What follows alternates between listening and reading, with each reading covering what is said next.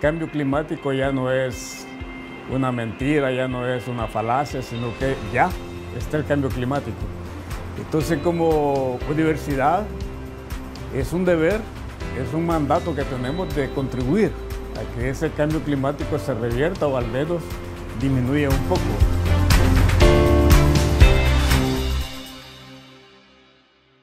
Sí, algunas gestiones que se realizan, por ejemplo, qué hacer con, la, con lo orgánico, que eso ya se está prácticamente en este ciclo, en este semestre se va a hacer compostaje para poder utilizarlo como abonos orgánicos.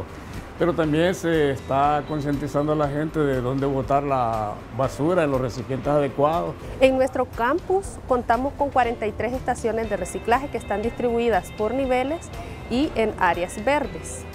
Eh, identificadas por colores. El color amarillo es donde vamos a depositar las latas, el color verde es donde depositamos exclusivamente botellas y el contenedor de color negro material orgánico.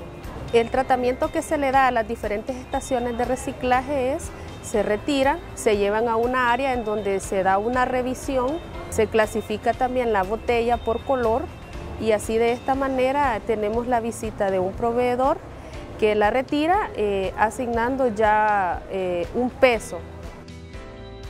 En cuanto a cantidades, eh, en el ciclo 2 2018 se recolectaron de 2.000 a 3.000 libras de latas y botellas. En coordinación con la Unidad de Bienestar Estudiantil tenemos el voluntariado que ellos promueven las buenas prácticas de UGB verde dentro de las aulas, con los docentes también y en eventos.